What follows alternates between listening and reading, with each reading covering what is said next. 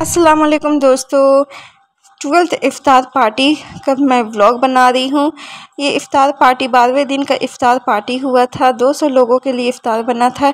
इस चावल की फिरनी बनी थी 200 कटोरी बनी थी, बहुत ही मज़े की थी। ये आलू बॉईल हो गया, आलू पकौड़ा के लिए, सलाद के लिए सैलेड कट करना है और ये छोले बनने के लिए तैयारी हो रही है। छोले के सारे प्याज, मसाला भुना दे, छोले को दाद में भिगो के रखी थी।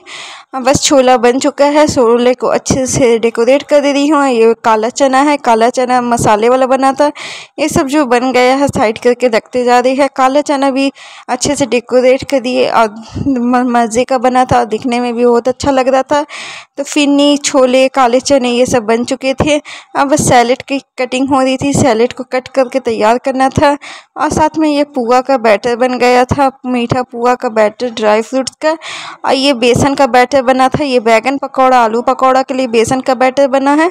अब इसे बेसन का पकौड़ा फ्राई हो रहा है।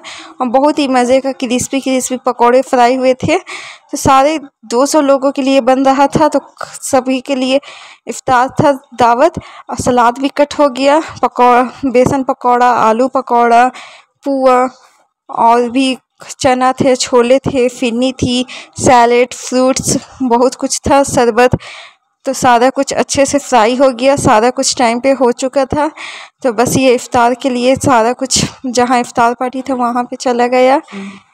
और सारा कुछ बहुत मज़े का था, समोसा भी था। अब प्लीज़ फ्रेंड्स वीडियो को लाइक करिएगा सब्सक्राइब करिएगा। Thank thank